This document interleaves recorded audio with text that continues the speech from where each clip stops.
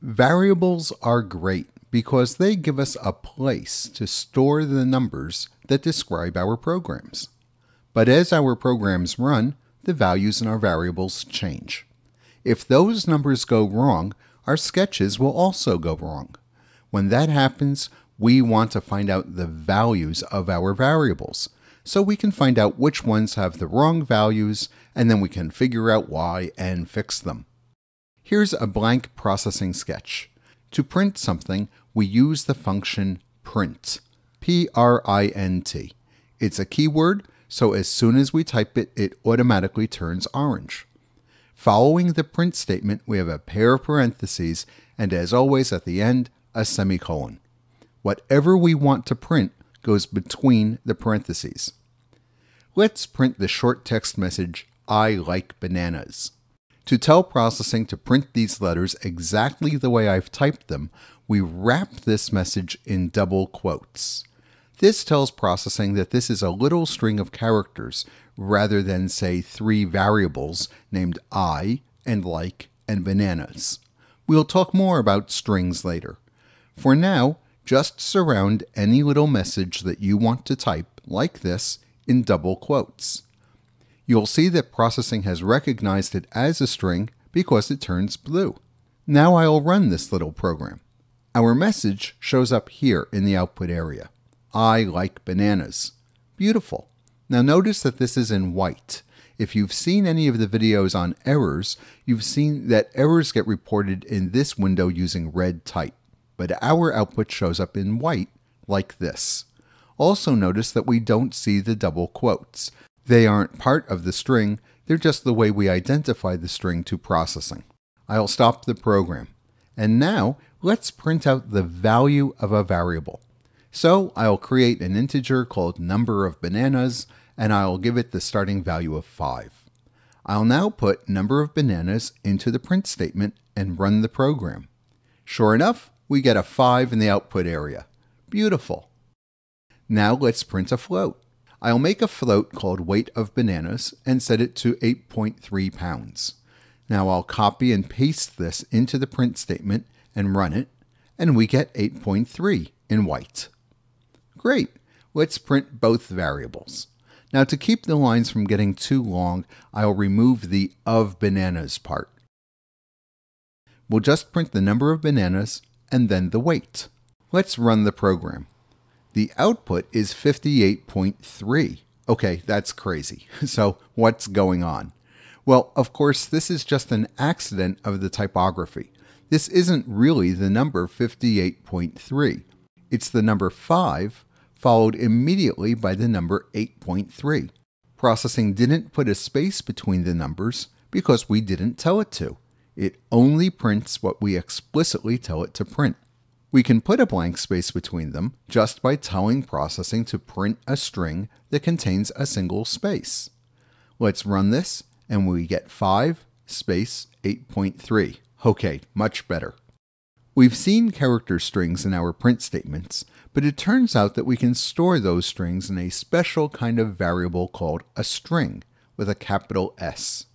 We'll talk much more about strings later, but for now, let's just assign the string variable called kind with a string manzano.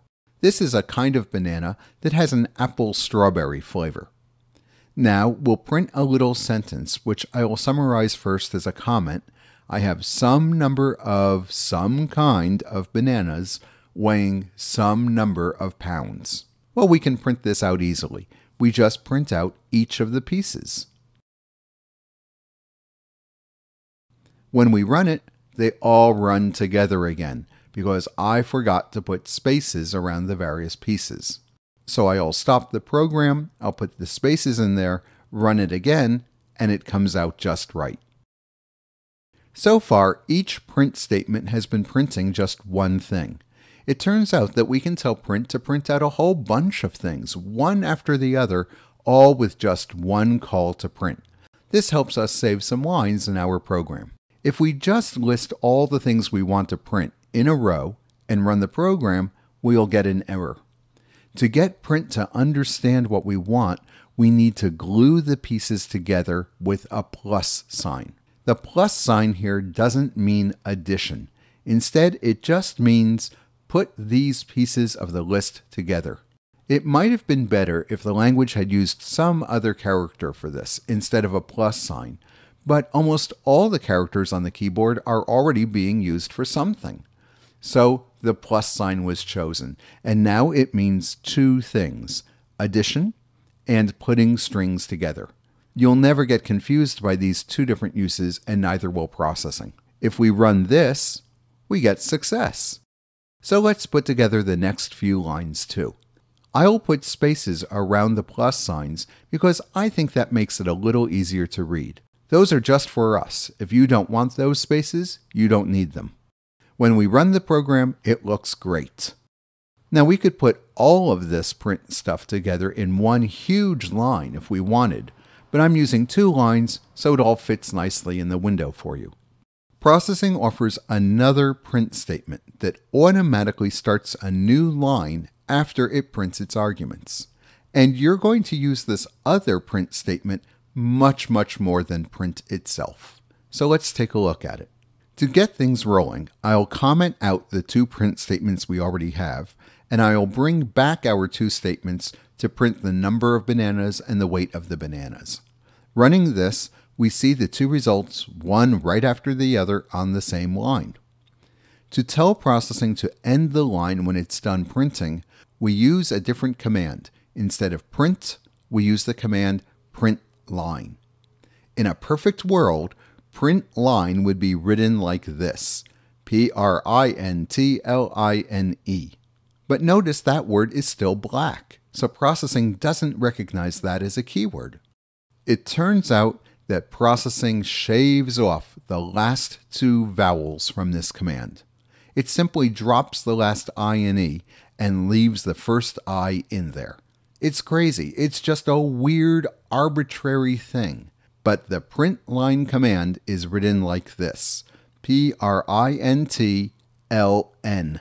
And you can see it turned orange. You're going to use print lines so much that eventually this will become completely familiar to you. So until it becomes second nature, you're just going to have to remember to write print line with this weird spelling. I'll add another line for the kind of banana and run that. Each print statement appears on its own line because once each call to print line is complete, the cursor moves down and to the left. You'll probably find yourself writing lines that look like these last three lines all the time. I know I do. When things start to look wrong, I print out all the variables that I think are involved and I look at their values. If something doesn't look right, that gives me a clue to know where I should go looking for a problem. When you print things, I recommend that you use print line. Remember that print line is written P R I N T L N and you'll be fine.